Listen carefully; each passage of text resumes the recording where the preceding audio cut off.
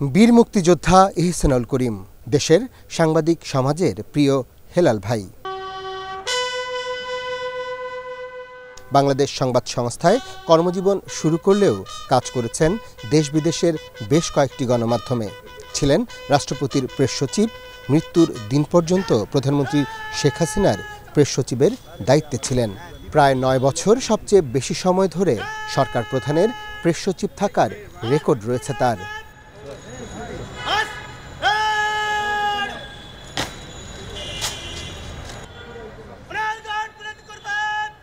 Sir আসলে পিতৃতুল্য ছিলেন। উনি আমাদের সমস্ত বিষয়ে খবর রাখতেন। অর্থাৎ আমাদের ব্যক্তিগত সুখ, দুঃখ অফিসের অন্যান্য বিষয়ে থেকে শুরু করে সমস্ত বিষয়ে উনি খবর রাখতেন। কখনো আমাদেরকে অতিরিক্ত কোনো চাপ স্যার দিতেন না। এবং স্যার খুব র্যাশনাল ছিলেন যে কোনো বিষয়ে। উনি ওনার যে অভিভাবক সুলভ যে অর্থাৎ দায়িত্ববোধ, সেটা আমাদের সবসময় মুগ্ধ করতো। আমরা খুবই আপনজন, একজন অভিভাবক আমরা হারালাম। প্রজ্ঞা বা মুক্তিযুদ্ধের কাজ করা। আপনারা জানেন যে উনি নিজে মুক্তিযুদ্ধ করেছেন সম্মুখ সমরে উনি যুদ্ধ করেছেন। স্যার সবসময় স্বাধীনতার পক্ষের যে শক্তি তার তাকে এগিয়ে নেওয়ার জন্য স্যার কাজ করতেন। এবং মাননীয় প্রধানমন্ত্রীর প্রতি ওনার অগাধ বিশ্বাস অপরিসীম শ্রদ্ধা মাননীয় প্রধানমন্ত্রীর প্রতি স্যারের ছিল উনি ছিলেন মাননীয় প্রধানমন্ত্রীর সাথে বাংলাদেশের গণমাধ্যমের সংযোগ স্থলকারী।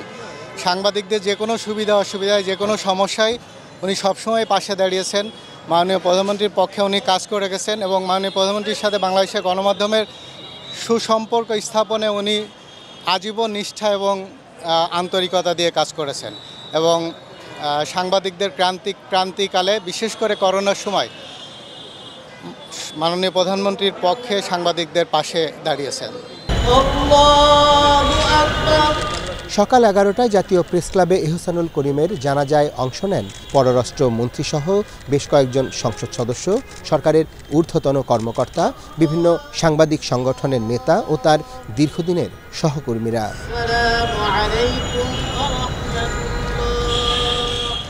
জানাজার নামাজের পর প্রধানমন্ত্রীর পক্ষ থেকে তার সামরিক সচিব মেজর জেনারেল কবির আহমেদ ফুল দিয়ে ইহসানুল করিমের প্রতি শেষ শ্রদ্ধা জানান।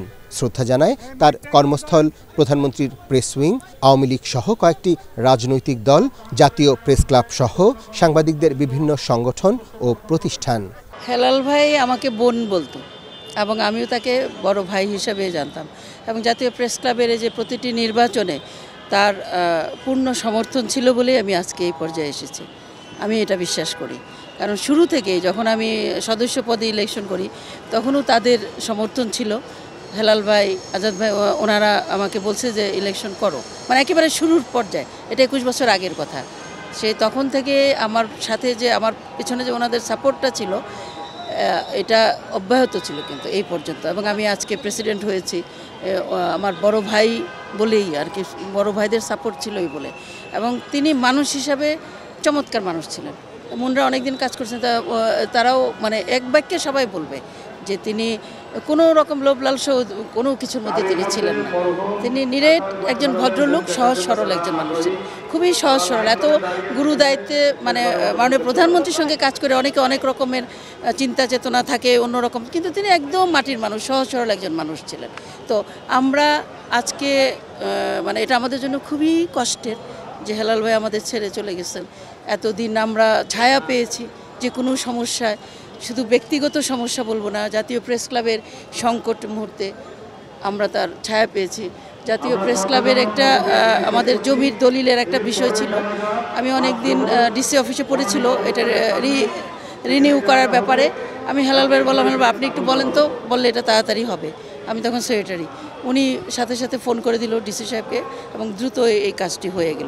আমি একটা উদাহরণ দিচ্ছি যে এইভাবে আমাদের মানে সাংগঠনিক কাজ, প্রতিষ্ঠানের কাজ, ব্যক্তিগত বিষয় বাদই দিলাম। সব কিছু উনি আমাদেরকে ছায়ার মতো মানে সহযোগিতা করেছে।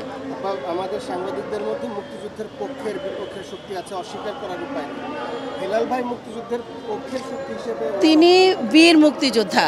তো আর বলার অপেক্ষা রাখে না যে তিনি কতটুকু মানে মুক্তিযুদ্ধের পক্ষের মানুষ। তিনি মাননীয় প্রধানমন্ত্রীর সঙ্গে দীর্ঘদিন কাজ করেছেন। এর আগে মহামান্য রাষ্ট্রপতির সঙ্গে কাজ করেছেন। তো হেলাল ভাই অন্তরে যেটা লালন করতেন যে মুক্তিযুদ্ধের চেতনা, অসাম্প্রদায়িক বাংলাদেশের যে চেতনা ছিল মুক্তিযুদ্ধের, সেগুলো তার আদর্শ এবং আমরা, সেই আদর্শেই আমরা পথ চলি। তাকে আমি আজকে প্রায় তিন দশক ধরে দেখছি, সেই নব্বইয়ের সাল থেকে।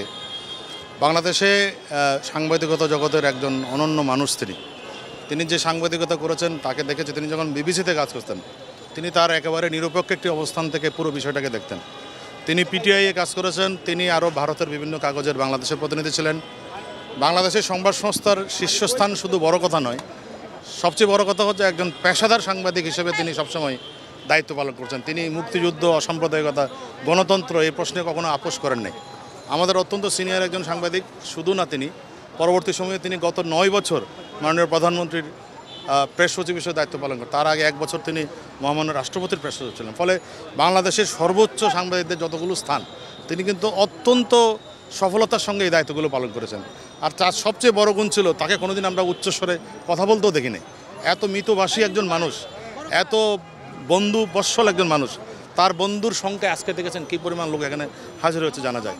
ফলে সাংবাদিকতা, মুক্তিযুদ্ধ, এইসব প্রশ্নে তিনি যে অবদান রেখে গেছেন, আমার ধারণা দীর্ঘদিন সাংবাদিকরা সেটা স্মরণ রাখবে। সকাল আটটায় রাজধানীর এলেনবাড়ি জামে মসজিদে এহসানুল করিমের প্রথম জানাজার নামাজ অনুষ্ঠিত হয়। জাতীয় প্রেস ক্লাবে দ্বিতীয় জানাজা শেষে তার মরদেহ নিয়ে যাওয়া হয় গুলশান সোসাইটির জামে মসজিদে। সেখানে অনুষ্ঠিত হয় মরহুমের তৃতীয় নামাজে জানাজা।